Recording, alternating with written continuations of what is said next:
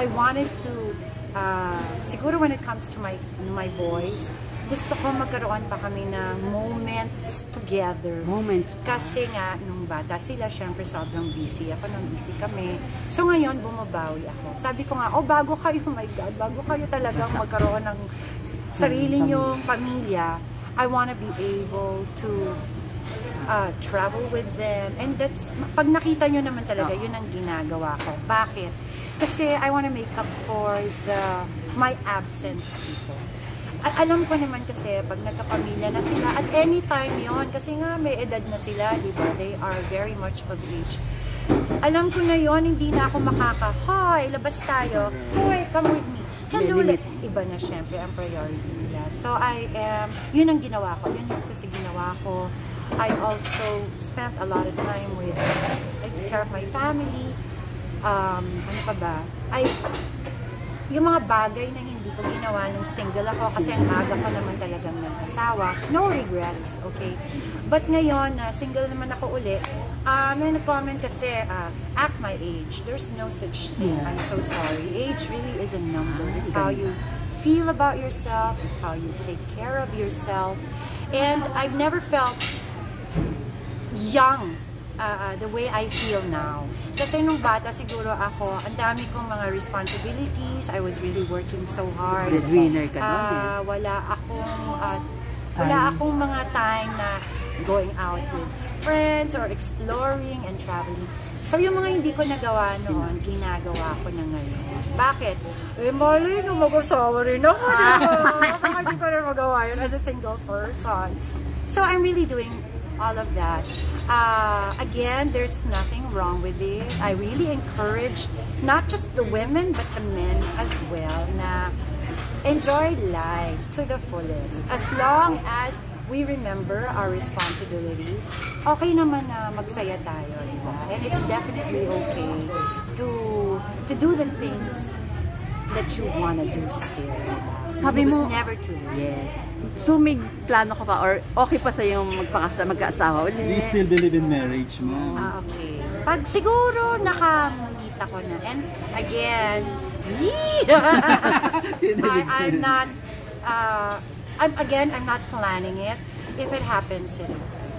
Diba? Pwede bang foreigner? Or showbiz ba ma'am? Or Hindi syempre natin alam, di ba, kung ano man yun. But, but sana, but sana, non-show business. Para mas Para iba naman, para iba naman yung work namin, iba yung line.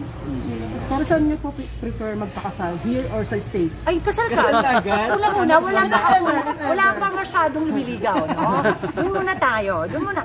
Step by step. Ah. Ayun, pag nagka-love life ako, na malalaman mo. Oy, hindi mo isi-secret, Pops. Hindi na, wag na. Okay na yan. Um, tsaka nyo na ako tanungin. Di ba naling ka pa nga kay Derek? Ngayon lumabas ang katotohanan Oo na, di ba? Pagkatapos akong binash-bash, Diba? wala namang naniwala na hindi kami. Maraming salamat na naniwala kayo na kami pala talaga. But yeah, actually, medyo sabi ko nga, oh my God.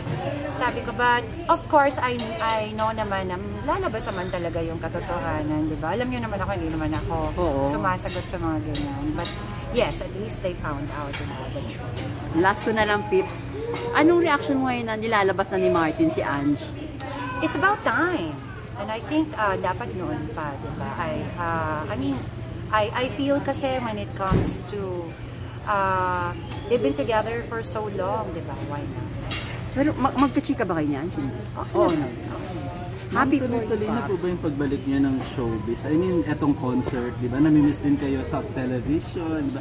Or, as a producer, natin. doon na lang talaga. No, uh, siguro, uh, I'm not naman closing my doors, you know. I, I, I- it's just that this is another occupation that I I realize na, oy, masaya rin pala siya.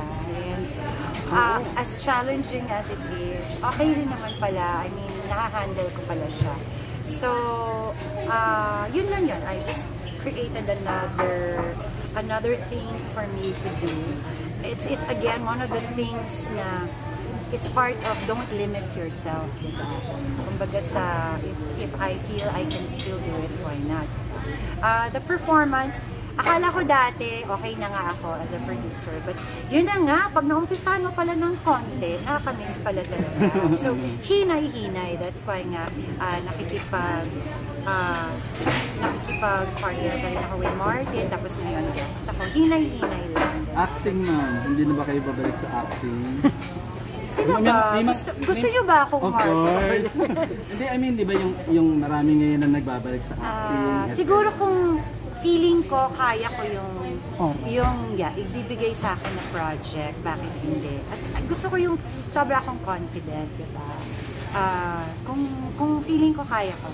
New generation, the stars that you want to work with sa acting na nakikita yung Actually, madami sila. Napakagaling. Madaming magagaling. Ah, I don't want to mention a name because I want to be able to have a chance kung aarte nga ako to work with most of them, if not all. Ma'am, as a producer, ano pa yung mga plano nyo na gusto mga i-produce internationally? Are you planning to produce other mga Korean, mga ganyan, may mga ganun ba? Or local Uh, lang muna tayo? I want to stick to the locals. Why? Um, I would, of course, that's a dream to be able to produce uh, foreign acts. But gusto ko dito muna, mga fellow Filipinos Support. muna, di ba? Like I said, it's, uh, um, kumbaga sa, ang dami-dami natin kasing mga performers Correct. at napakagaling na mga Filipino singers, actors. Ah, sa sobrang dami niyan, ang dami-dami natin pwedeng bitap, di ba? So, yung atin muna. Kung meron man kayong produce uh, na mga mga foreigner, sino yung mga dream na gusto nyo dalhin dito sa Pilipinas? Huwag na muna, Pinoy. Pinoy talaga. Pilipin, ayaw nga. Ayaw. Kasi yung friends, friend niya si, si, si Miss Small, ah, nagkaroon siya ng ah, Thanksgiving concert. Ikaw ba, do you have plans or nag-usap ba kayo na pwede niyo siyang i-produce since ang lakas-lakas niya?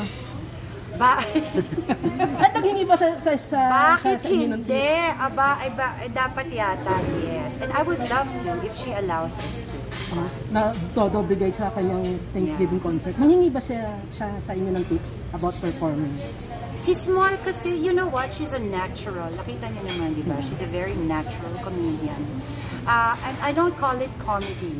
That uh, what you see is Natural what you get. Yeah, it's not even comedy. That's who she is. Siya no? Yeah, so I think that's what people see in her. It's it's the authenticity.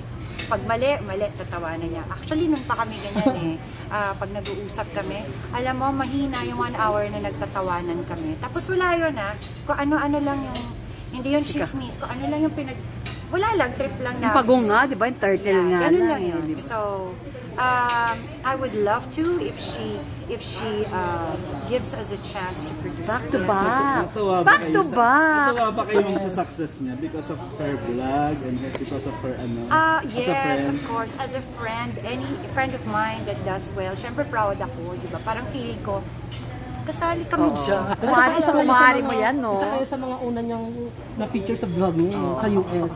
Yes, yes, yes. Oo. Sa Kumari. apartment yata, sa bahay nila sa Sa US. bahay. Mm. Yeah. Well, Ma'am, any ano, any collaborations with with Ate Shawi? Isa din sa mga inaabangan sa inyo yun, well, di ba? dream dream namin yan. Ay, ako, dream ko yan. No? And Mhm. it was discussed uh, before COVID.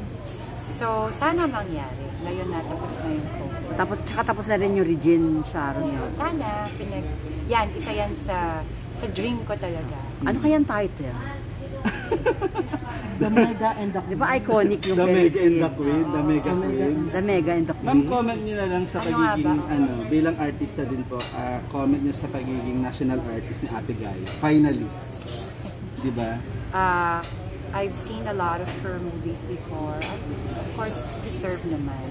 Yes, finally. Mm. Ako, ang question ko regarding sa national artist, di ba wala pang national artist na singer?